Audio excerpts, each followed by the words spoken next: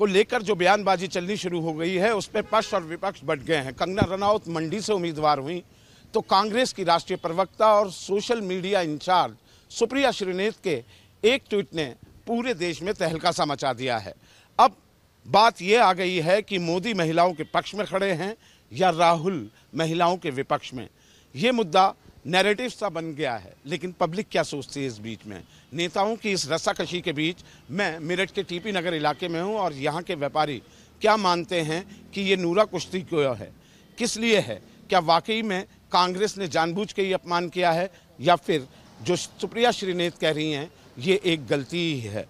कुल मिलाकर मेरे साथ हैं पिंकी चिनौटी, आप ये बताइए कि ये जो आपने मामला पूरा सुना, सुप्रिया श्रीनेत ने सफ़ाई भी दी है क्या लग रहा है ये महिला वर्सेस महिला का मामला हो गया? भाजपा कह रही है, जैसे राहुल गांधी का एक बयान आया था शक्ति को लेकर। राहुल ने कहा कि मेरे बयान को प्रधानमंत्री ने घुमा दिया है।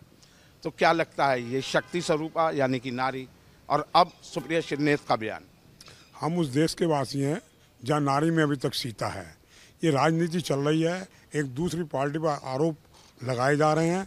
हम तो ये कहते हैं कि नारी का सम्मान होना चाहिए। नारी के सम्मान के बगैर राष्ट्र नहीं चल सकता, क्योंकि नारी को कुदरत ने भी बड़ा सम्मान दिया है। माँ शेरावाली को रक्षा मंत्रालय, माँ लक्ष्मी को सर माँ लक्ष्मी को धन और माँ सरस्वती को शिक्षा, इसलिए नारी का सम्मान होना चाहिए।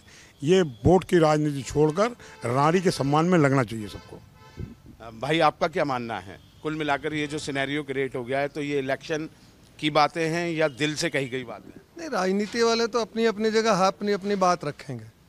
हम लोगों का तो यह मानना है कि नारी का सम्मान तो हमेशा होता आया और हमेशा होता रहना चाहिए। और राजनीति करने वाले अपनी अपनी जगह राजनीति करते रहेंगे। कोई दल ऐसा लगता है जो नारी के नारी का अपमान करता है? अब नारी का अपमान तो ये सब आपस में एक दूसरे के ऊपर कोई ना कोई बात उछालते ही रहते हैं। मगर जैसे एक सार्वजनिक हम लोग जीवन जी रहे हैं उसमें मोदी सरकार के अंदर नारी शक्ति का सम्मान अधिक बढ़ा है ऐसा हमारा मानना ज़्यादा बढ़ा है? ज़्यादा बढ़ा है ऐसा हमारा और विपक्ष के मुकाबले में? हाँ विपक्ष के मुकाबले में नारी का सम्मान ज़्यादा बढ़ा है। भाई आपका क्या मानना है?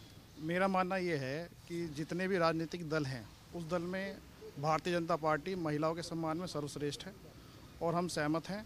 जितने भी कार्य महिलाओं के हित में वो कर रही है सही कर रही है पूरा सम्मान देती है और विभिन्न योजनाएँ महिलाओं के हित में बना रही है। मैं सहमत हूँ भाजपा से।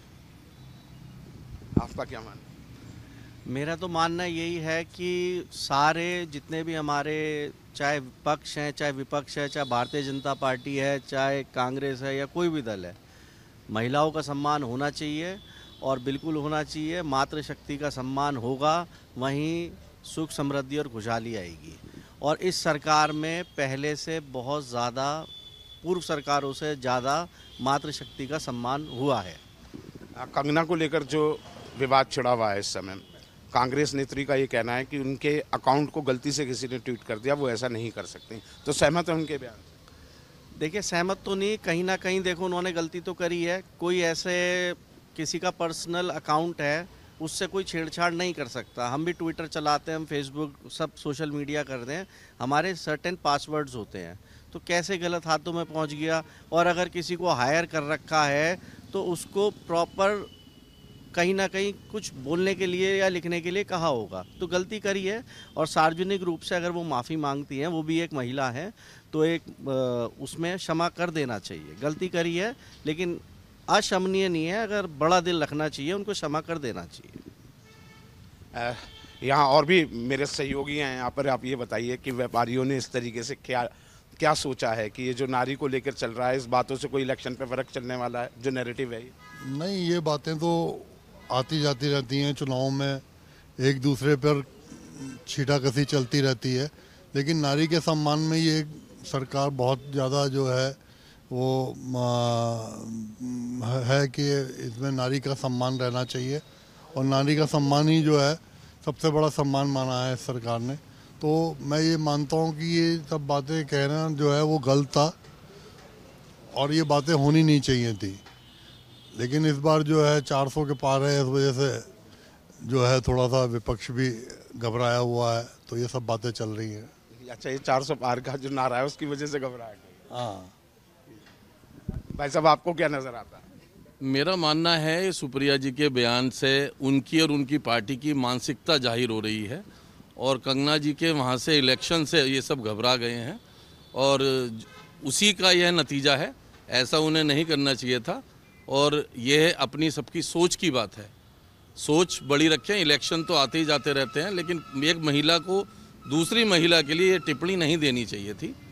और ये कि उनकी सोच है और वो माफ़ी भी मांगती हैं तो वो एक उनका अपना अलग विषय है। माफ़ी देना तो बड़ा बड़ा दिल की बात है, और मोदी जी उसमें बहुत बड़े हैं। इस बारे में कोई रिएक्शन एक्शन रिएक्शन कुछ नहीं होगा।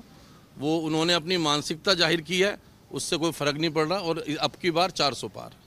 बार चार सौ का आ, आपको क्या लगता है कि इस बार विपक्ष कहीं खड़ा दिखाई देता है? अब इस विपक्ष ऐसे नहीं आता न- ऐसा नहीं है। मोदी जी चार सौ पार है। चार सौ पार हाँ। जी हाँ जी।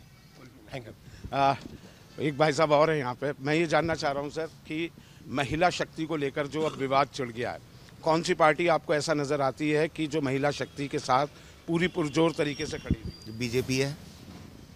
बीजेपी के सिवा और कोई है ही नहीं है पार्टी नहीं है कोई कोई दमदार पार्टी नज़र नहीं आ रही जो आगे आकर के एकदम सपोर्ट करे किसी को।